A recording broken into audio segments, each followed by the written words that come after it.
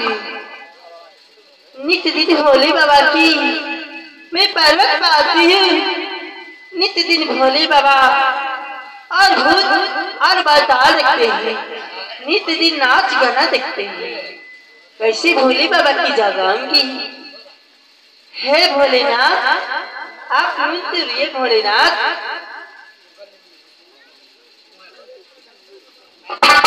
कौन है कहाँ को रहने वाली है कैलाशपुरी में आने का कारण क्या है? हे भोलेनाथ मैं राजनैनिक की रहने वाली। मेरी नाम सोना है।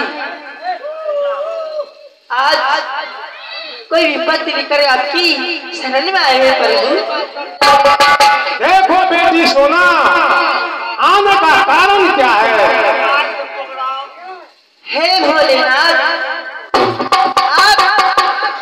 पहले वचन दीजिए इसके बाद अपनी दिल की कहानी सुनिए भोलेनाथ। बेटी सोना हमारा तुम्हारे में वचन का क्या ज़रूरत है? मांगो जो मांगना है तो मांगो तुम्हारे अवश्य मैं पूर्ति कर दूँगा।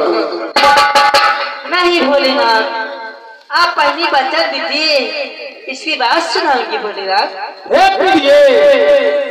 बेटी सोना वचन मांग रही है। तुम्हारी क्या नाथ मैं तो आपकी चरणों की दासी हूँ। आपको बात को मैं नहीं टाल सकती। लेकिन आप तो जानते हैं मृत्यु भुवन के नारी बहुत छल हुआ करते हैं। कुछ भी कहे ना तो सोच समझ कर वचन दीजिएगा। वचन देकर पीछे मत हटिएगा। हे नाथ आप तो जानते हैं, नारी कितना छल हुआ करते हैं। आप तो खुद समझदार हैं। मैं अपना क्या बताऊँ? ठीक है बेटी सोना। तुम्हारी मैं वचन देता हूँ। मांगो क्या मांगना है? हे भोलेनाथ आज मेरे भाई छोटे की शादी है। उस शादी में आप मुझे माता पार्वती की कंगन चाहिए और साथ इंदिरा चाहिए। बेटी सोना मांगा तो कुछ नहीं। मांग लिया बहुत भारी चीज़ मांग लिया। आपको हाथ का कगन मांग रही है। तुम्हारी क्या विचार है? हे नाथ आप जब कह दिए तो मैं आपके वचन को पालन करूँगी टाल नहीं सकती। महाराज ये आप कहिए उनसे जो कितने दिन के बाद कंगन लौटाएगी। देखो बेटी सोना ये कदम तुम मांग रही है। ठीक है तुम्हारी मैं वचन दे दिया हूँ। ये कदम तुम कितना दिन में तुम लौटाओगे? हे भोलेनाथ मैं आठवां रोज से नवा रोज नहीं बीतने दूँगी। अठवा रोज में एक कंगन अवश्य लौटा दूँगी भोलेनाथ। ठीक है बेटी सोना। आठ रोज रखेगी। नौवा रोज में आपस कर दे। तो ठीक है। लो बेटे एक कंगन लो। मैं तुझे एक कंगन दे रही हूँ।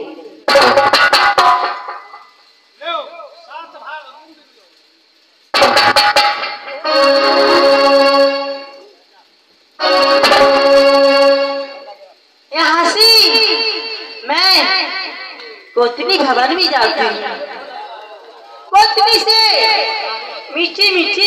करूँ देवती हे।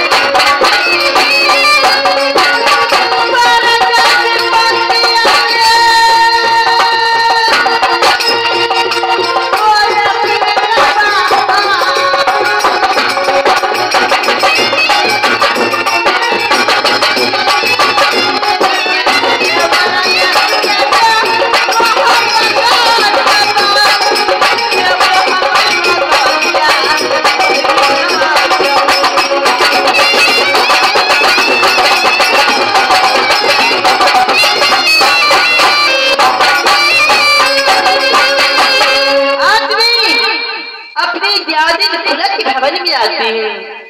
ऐसा रचना रचेगी कि देवा जी और मोरंग बालिक में राजभवन से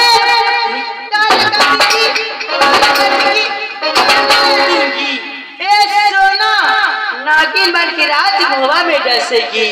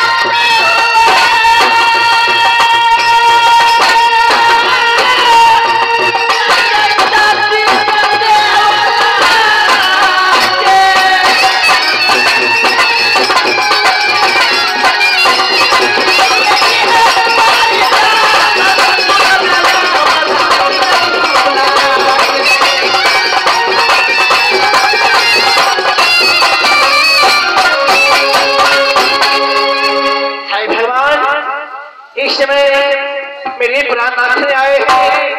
एक फुलान के महल में और खाना खाकर बंगला पर गया है। और सुबह से शाम हो गया, फिर शाम से सुबह हो गया। फिर भी अभी तक बंगला पर से वापस मेरी महल में नहीं आया है। ये पटिया जो ही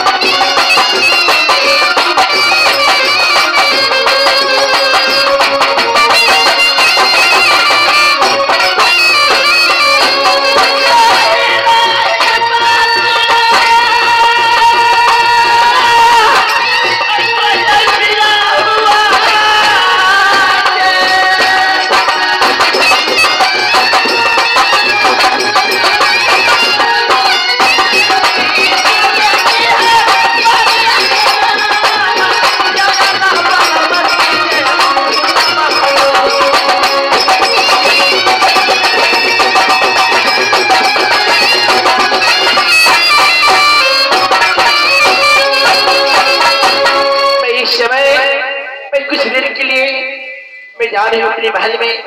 अवश्य मेरे प्राणनाथ बंगला पर से एक खुला के महल में अवश्य आएँगे